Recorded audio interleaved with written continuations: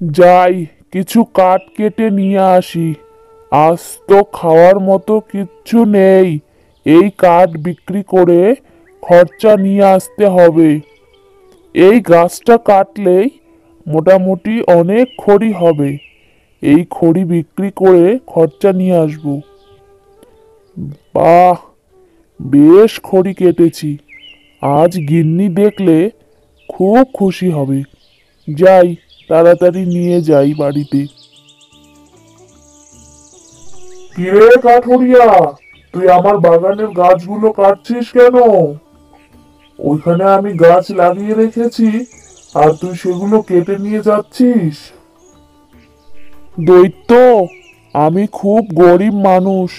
আমাকে ছেড়ে দিন এই কাঠ বিক্রি করে আমি সংসার চালাবো।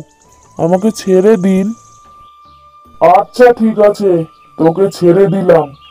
তোর কি চাই বল আমার থেকে? দৈত্য আমার বেশি কিছু চাই না। আমার একটা থাকার ঘর করে দিলেই চলবে। আমি গাছতলায় থাকি আমার গিন্নিকে নিয়ে। আমার একটা ঘরের খুব প্রয়োজন। আমাকে একটা ঘর তৈরি করে দেবে? এই নে তোর ঘর। আজ থেকে তোর গিন্নিকে নিয়ে এখানে সুখে সংসার